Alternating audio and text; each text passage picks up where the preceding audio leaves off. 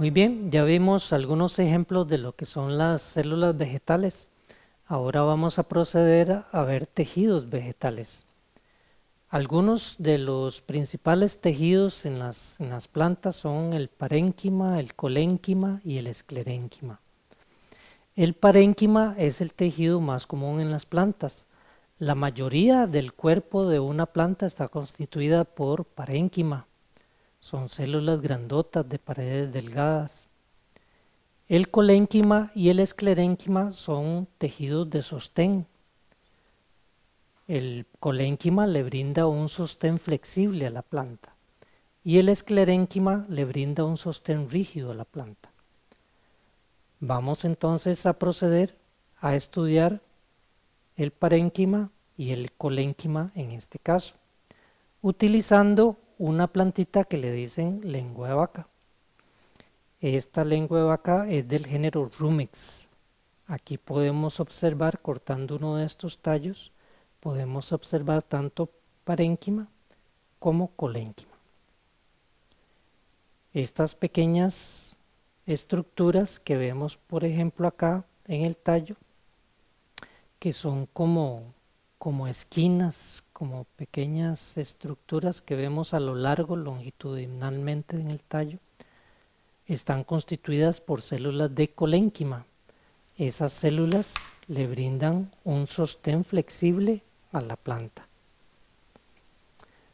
Vamos a hacer un corte transversal, que un corte transversal es así, cortamos el tallo de esta manera.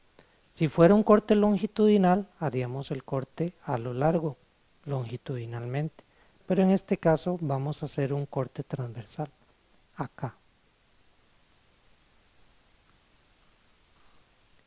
Una vez que hacemos el corte transversal vamos a proceder con una navajilla que es, nos brinda un corte mucho más fino y hacemos varios cortecitos lo más fino que podamos.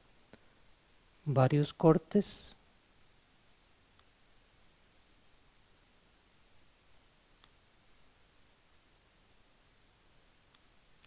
Unos tres cortes. Y los podemos dejar ahí en la navajilla, no hay problema. Los ubicamos o los colocamos en un portaobjetos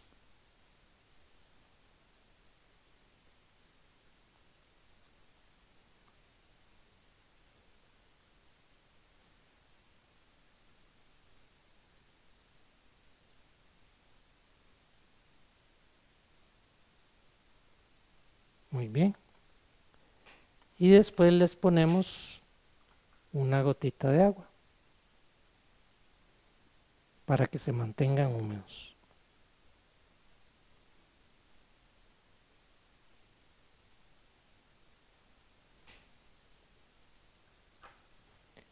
Y por último, colocamos nuestro cubre objetos.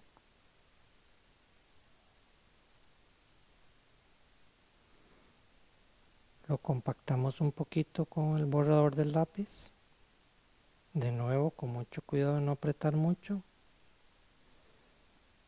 Y lo ubicamos en el microscopio.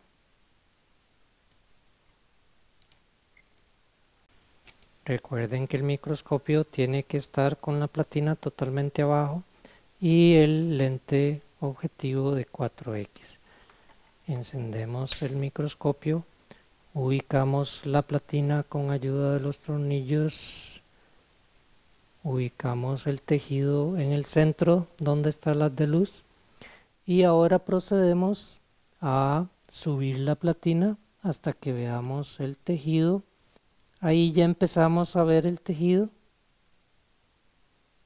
Ahí lo estamos observando más o menos. Lo ubicamos mejor utilizando los tornillos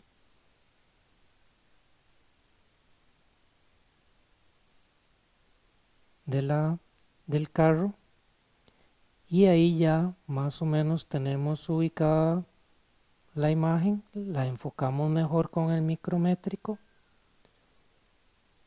y muy bien, aquí ya podemos observar una excelente imagen de la muestra.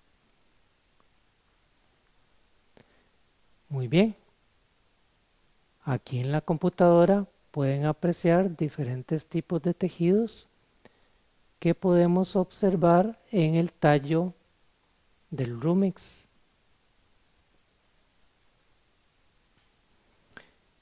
Estas partes que tenemos acá, estas partes que tenemos acá, son las esquinas que les estaba mencionando que están presentes en el tallo y también están presentes en los peciolos, por ejemplo. Estas estructuras que están acá están llenas de células de colénquima. Cuando las cortamos entonces, estas células las podemos apreciar con un corte transversal. Lo ubicamos mejor en la pantalla para que ustedes puedan apreciar más las células. Muy bien, vamos a proceder a poner el objetivo de 10x para observar mejor las células.